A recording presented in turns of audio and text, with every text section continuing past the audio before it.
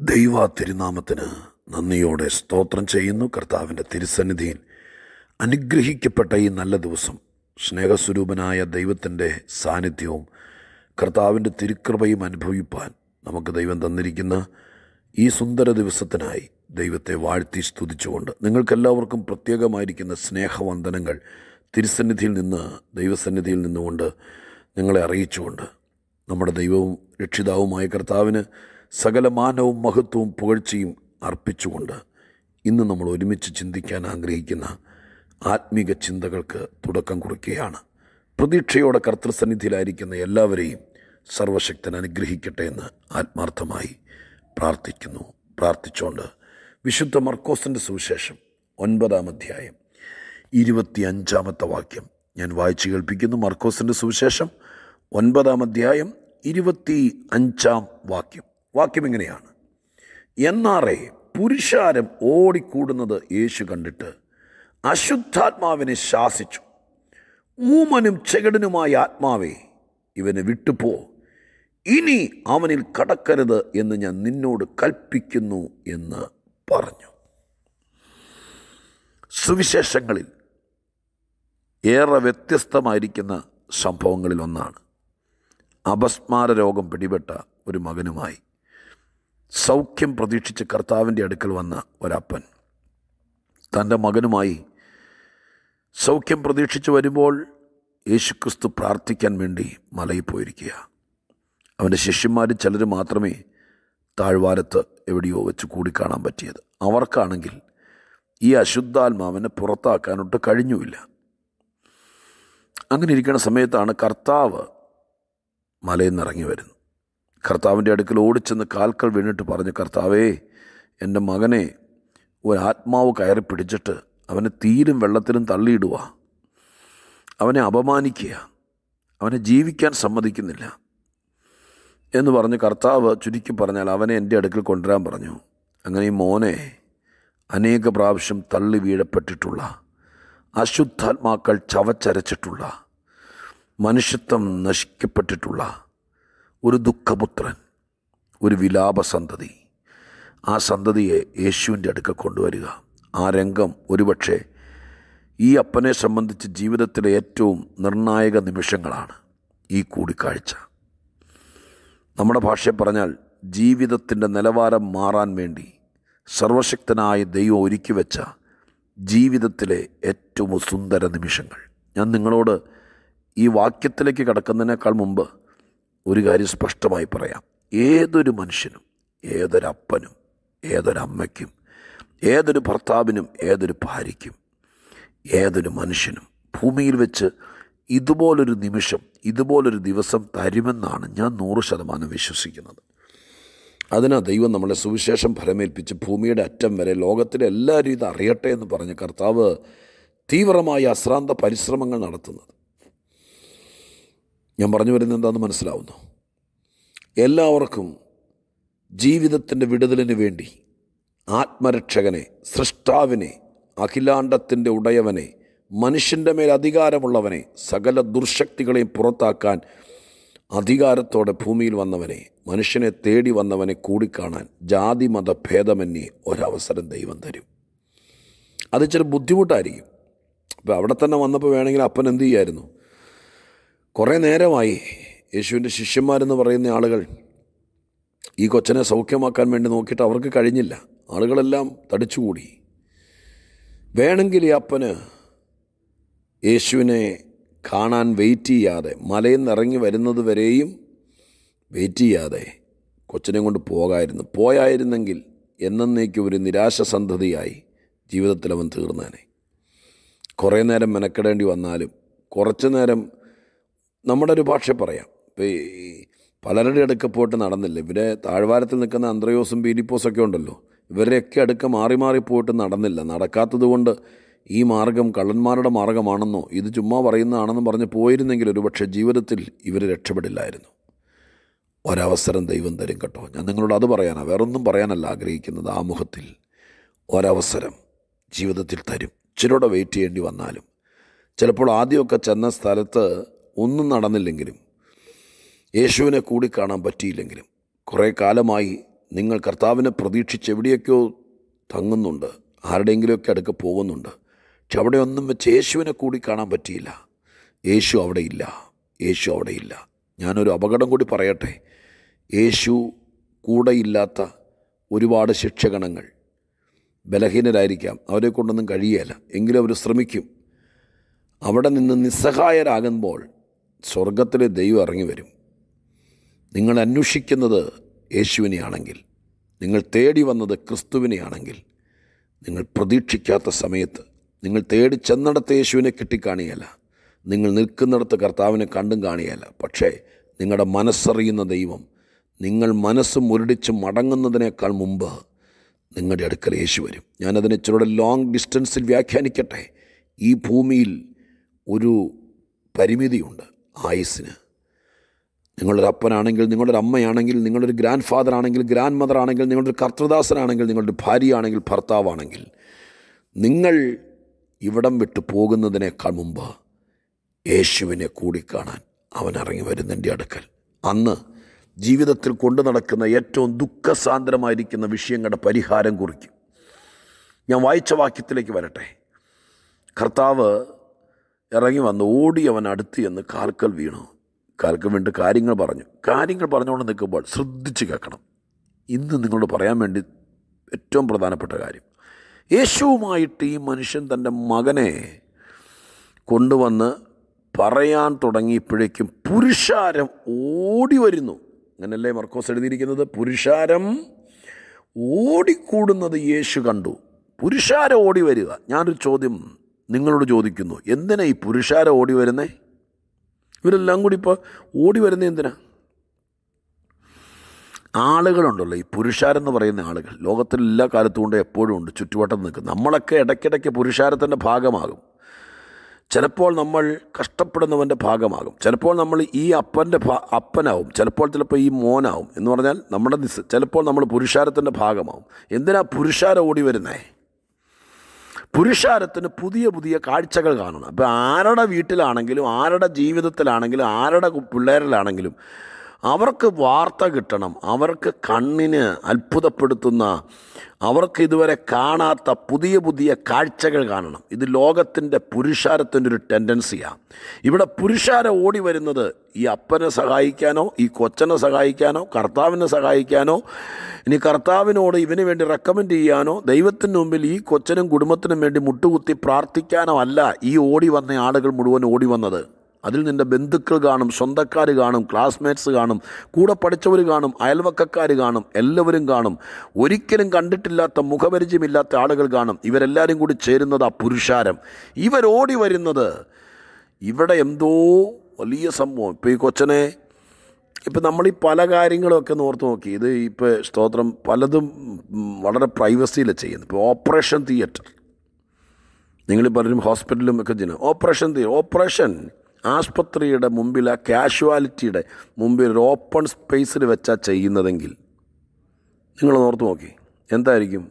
അയ്യോ മുഴുവൻ ആളുകൾ വന്ന് കൂടി നിൽക്കും. ഒരു ശരീരം വെട്ടിമുറിക്കുക പോസ്റ്റ്മോർട്ടം എന്ന് പറയുന്നുണ്ടല്ലോ വാതിലടച്ചകത്തിട്ട എന്നിട്ടും വാതിലിന്റെ ഇടവി കൂടെ പഴുതി കൂടെ ജനലിനൊരു വിള്ളലുണ്ടെങ്കിൽ അതിൽ കൂടെ ഉണിഞ്ഞു നോക്കുന്ന ആൾക്കാരെ കണ്ടിട്ടുണ്ടോ?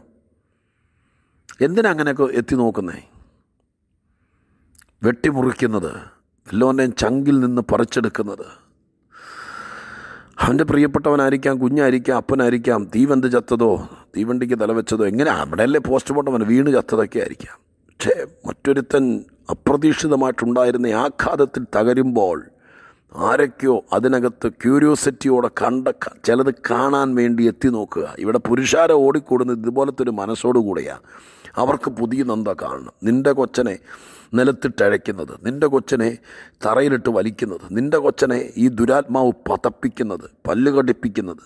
അവനിങ്ങനെ ചുരുണ്ട് ചുരുണ്ട് അസ്ഥികൾ ഒടിയുമാറ് അങ്ങനെയല്ല ഈ രോഗത്തിന്റെ പ്രത്യേകത വളഞ്ഞു പോകുന്നത്. അത് കാണാൻ വേണ്ടി. ഇന്നത്തെ കാലത്താണെങ്കിൽ ഞാൻ സാധാരണ പറയാറുണ്ട് ഈ മൊബൈലൊക്കെ ഈ ഈ എന്താ പറയുക ഫോട്ടോയും കാര്യങ്ങളും ക്യാമറയൊക്കെ ഉള്ളതിന്റെ പേരിൽ ഇതെല്ലാം ചെയ്തേനെ. അങ്ങനെയാണല്ലോ നാട്ടിൽ നടക്കുന്ന ഇന്നത്തെ സ്ഥിതിയെല്ലാം. പക്ഷേ യേശുവിനെ ഞാൻ അവിടെ വെച്ച് കണ്ടത് പറയാം. ഇവിടെ ആ വാക്കിന്റെ അർത്ഥം നിങ്ങൾ മനസ്സിലാക്കണം. മർക്കോസ് എഴുതിയിരിക്കുന്നു പുരുഷാരം ഓടി വരുന്നത് കണ്ടപ്പോൾ പെട്ടെന്ന് യേശു എന്ത് ചെയ്തു? ആ യേശു സ്തോത്രം അവരെല്ലാം കൂടി വരട്ടെ എന്ന് പറഞ്ഞ് നിൽക്കുകയല്ല. പണ്ട് ഇപ്പം അങ്ങനെ കാണുന്നില്ല. ഈ നാടോടി സർക്കസുകാരൊക്കെ ഉണ്ട്. അവരെന്ത് ചെയ്യുന്നറിയാമോ? ഏതെങ്കിലും കവലയിലോ ഏതെങ്കിലും സ്ഥലത്തോ വൈകുന്നേരം ആകുമ്പോൾ വന്ന് നിൽക്കുമ്പോഴത്തേക്ക് അവർ അവർ ആളുകളെ കൂട്ടാൻ വേണ്ടിയിട്ട് പല പരിപാടികൾ നടത്തും. പല അതവരുടെ ഒത്തിരി കാര്യങ്ങളുണ്ട്. ഞാൻ പറയേണ്ട കാര്യമില്ല. അപ്പോൾ അവർ സർക്കസ് തുടങ്ങിയിട്ടില്ല. ആദ്യത്തെ കുറേ പരിപാടികൾ. അങ്ങനെ ആൾ കൂടാൻ വേണ്ടി. ആളുകൾ കൂടിയതിന് ശേഷമാണ് വലിയ കാര്യങ്ങൾ പറയും. ഇപ്പോൾ ഇങ്ങനെ ഒരു മനുഷ്യൻ വരുവാണ് അവന്റെ തലയിൽ വെച്ച് ചായ തിളപ്പിക്കും അവന്റെ നെഞ്ചത്ത് വെച്ച് അരി ഇടിക്കും എന്നൊക്കെ പറയുമ്പോഴത്തേക്കും ആൾക്കാർ എന്നെ ഇങ്ങനെ പറയാൻ ചാതിരിയുള്ള ആൾ പറഞ്ഞു നിൽക്കുമ്പോഴത്തേക്കും ഒരു വയസ്സ് പോയാലും വേണ്ടില്ല കണ്ടിട്ടേ പോകുന്നെന്ന് പറഞ്ഞാൽ അവിടെ നിന്ന കാലം നമുക്കുണ്ട്. ആളുകൾക്കിത് കാണണം. ആളെ കൂട്ടാൻ വേണ്ടി പല തന്ത്രങ്ങളും ആളുകൾ ചെയ്യും. എന്നാൽ യേശുക്രിസ്തുവിന്റെ മനസ്സ് കണ്ടോ?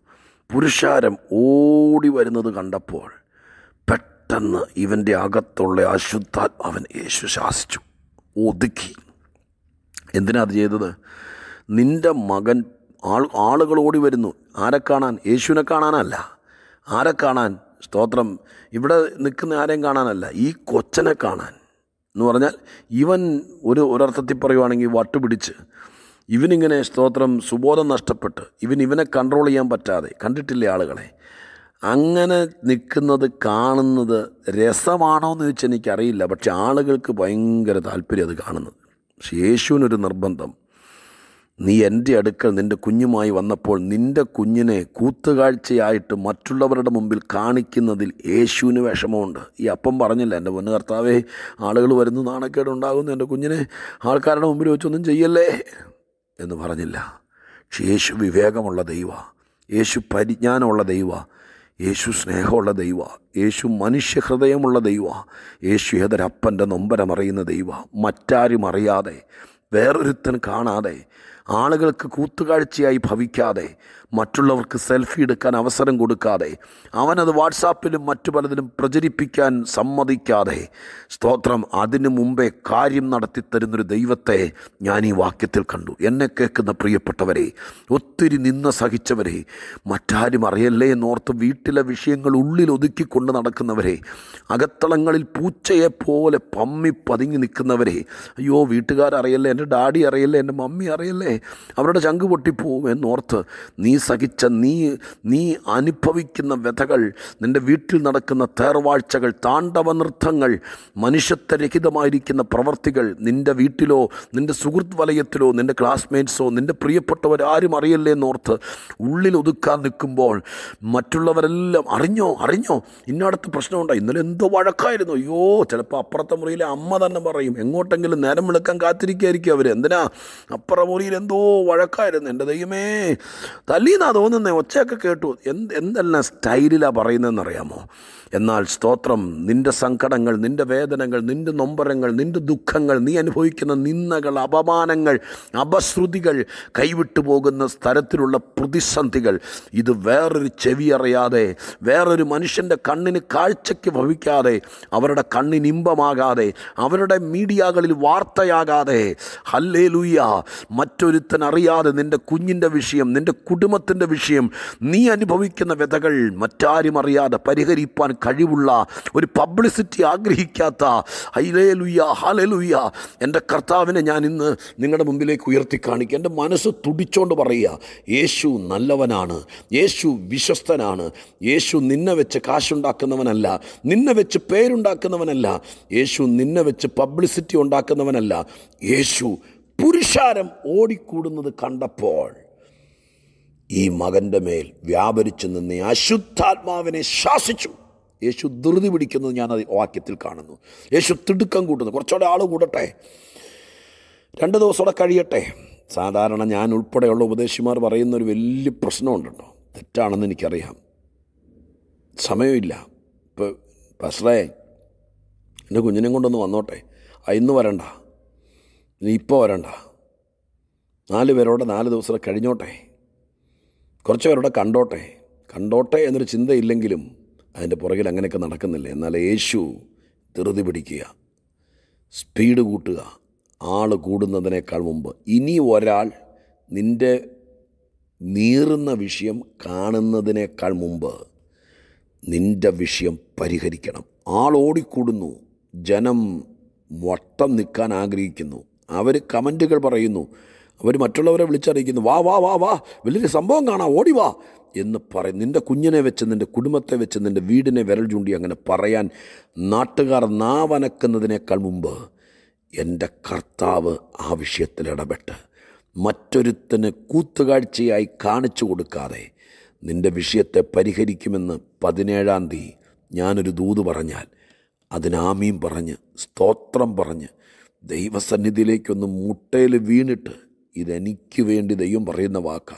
ഇനി എന്റെ കുഞ്ഞിനെ ഇനി എന്റെ കുടുംബത്തെ ഇനി എന്റെ പ്രിയപ്പെട്ടവനെ ഇനി എന്റെ കർത്താവേ മറ്റുള്ളവർക്ക് ഞങ്ങൾ ഒരു കൂത്തുകാഴ്ചയും ഞങ്ങളൊരു കാഴ്ച വസ്തുവും ഞങ്ങളൊരു പഠന വിഷയവും ഞങ്ങൾ ആളുകൾക്ക് കമന്റ് പറഞ്ഞ് ചിരിക്കാനും പറയാനും ഒരു വസ്തുതയുമായി ദൈവം മാറ്റല്ലേ എന്ന് നമുക്ക് ദൈവത്തോട് പ്രാർത്ഥിക്കാം. എത്രയോ പേരുടെ കഥകൾ എത്രയോ പേരുടെ ജീവചരിത്രങ്ങൾ എത്രയോ പേരുടെ ജീവിതത്തിലെ തകർന്ന സംഭവങ്ങൾ സിനിമയാക്കി നാടകമാക്കി പുറത്തു വന്നു. നമുക്കറിയാം അവരുടെ ബന്ധുക്കളും സ്വന്തക്കാരും എല്ലാം മറ്റുള്ളവർ ടിക്കറ്റ് എടുത്ത് കാണുമ്പോൾ നീറിപ്പുകയാണ് ഞാൻ ഇങ്ങനെ പറഞ്ഞ് പ്രാർത്ഥിക്കാൻ പോവുക നിന്റെ ജീവിത ചരിത്രം നിന്റെ കുടുംബവിശേഷം നീ അനുഭവിക്കുന്ന നാണം കെട്ട ജീവിതത്തിന്റെ നൊമ്പരങ്ങൾ അത് മറ്റൊരു വേദി പറയാൻ മറ്റൊരാൾ ടിക്കറ്റ് എടുത്ത് കാണാൻ കാശ് കൊടുത്ത് അത് എഴുതി വെച്ചിരിക്കുന്നത് മേടിച്ച് വായിക്കാൻ ദൈവം അനുവദിക്കുകയല്ല. നിന്റെ നിന്ന വിറ്റ് കാശാക്കാൻ നിന്റെ അപമാനവും നിന്റെ നിന്റെ കുടുംബത്തിന് അനുഭവിക്കുന്ന വേദനയും പ്രഭാഷണ വിഷയമാക്കാനോ മറ്റുള്ളവർക്ക് സ്തോത്രം അത് ആക്ഷേപിക്കാൻ ഇട്ടുകൊടുക്കാൻ അനുവദിക്കാത്ത ദൈവത്തെ മർക്കോസിന്റെ സുവിശേഷം ഒൻപതാം അധ്യായത്തിന്റെ ഇരുപത്തി അഞ്ചാം വാക്യത്തിൽ ഞാൻ കണ്ടു. ആ യേശുവിനെ ഞങ്ങൾ നിങ്ങളുടെ മുമ്പിൽ ഉയർത്തുകയാണ്. കർത്താവിനോട് പറ മറ്റൊരാൾ അറിയാതെ പരിഹരിക്കേണ്ട ചില വിഷയങ്ങൾ എന്റെ ജീവിതത്തിലുണ്ട് എന്റെ മനസാക്ഷിയിലുണ്ട് എന്റെ മക്കളിലുണ്ട്. വേറെ ആരും അറിയല്ലേ? അവന്റെ ഭാര്യ വീട്ടുകാരതറിയല്ലേ എന്റെ അമ്മ അതറിയല്ലേ അവരറിയുന്നതിനേക്കാൾ മുമ്പ് ഇത് തീർത്തു തരണേ എന്നൊന്ന് പ്രാർത്ഥിച്ചേ. ഈ നല്ല യേശു നിന്നെയും സഹായിക്കും. ഞാൻ പ്രാർത്ഥിക്കട്ടെ. പരിശുദ്ധ ദൈവമേ ഞങ്ങളുടെ സ്വർഗീയ പിതാവേ ഏറ്റവും വലിയ നാണക്കേട് മറ്റുള്ളവർ അറിയുന്നതാ. ഓടിക്കൂടുന്ന ആളുകളുടെ മുമ്പിൽ വെച്ച് നിന്ദിക്കപ്പെടുന്നത്. എത്രയോ സഹോദരങ്ങൾ സഹോദരിമാർ മറ്റുള്ളവരുടെ മുമ്പിൽ വെച്ച് ആക്ഷേപിക്കുന്നത് കുത്തുവാക്ക് പറയുന്നത് ഉപദ്രവിക്കുന്നത് ഒരു വലിയ കാര്യമായി കാണുന്ന ആളുകൾ പോലും ഈ കേൾക്കുന്നവരുടെ ജീവിതത്തിൽ പറ്റിച്ചേർന്ന് നിൽക്കുന്നുണ്ടപ്പ. ഇനി ആരുടെ മുമ്പിൽ വെച്ച് അപമാനിപ്പാൻ നീ വിട്ടുകൊടുക്കരുത്. ഈ വചനം അവരുടെ സ്വന്തമാകട്ടെ. ഈ യേശു അവരുടെ സ്വന്തമാകട്ടെ. കർത്താവെ പുരുഷാരെ ഓടിക്കൂടുന്ന വന്നിട്ട് കണ്ടിട്ട് അശുദ്ധാത്മാവിനെ ശാസിച്ചൊതുക്കി ആ മോനെ ഫ്രഷായി അപ്പന്റെ കൊടുത്തു വിട്ടതുപോലെ ഇവരുടെ നീറുന്ന വിഷയങ്ങൾക്കൊരു പരിഹാരം വരുത്തി ആക്ഷേപങ്ങൾ മാറ്റി അനുഗ്രഹം ചൊരിഞ്ഞ് ഈ വചനം കേട്ട് കരയും പ്രാർത്ഥിക്കുകയും മുട്ടുകുത്തുകയും ചെയ്യുന്നവരെ ഓർത്തേക്കണേ. അവരുടെ വീട്ടുവിഷയങ്ങൾ കോടതിയിലല്ല ആശുപത്രിയിലല്ല കുടുംബ സദസ്സിലുമല്ല. പിന്നെയോ എന്റെ അപ്പൻ മാത്രം അറിഞ്ഞ് പരിഹരിക്കണം. യേശു അത് ചെയ്യണം. ഇനി അവർ നിന്ദിക്കപ്പെടരുത്. ഇനി അവരുടെ കുഞ്ഞുങ്ങളും അവമാനിക്കപ്പെടരുത് യേശു ക്രിസ്തുവിന്റെ നാമത്തിൽ പ്രാർത്ഥിക്കുന്നപ്പ കരുണയോടെ കേൾക്കണേ സ്വർഗീയ പിതാവേ. ആമേൻ.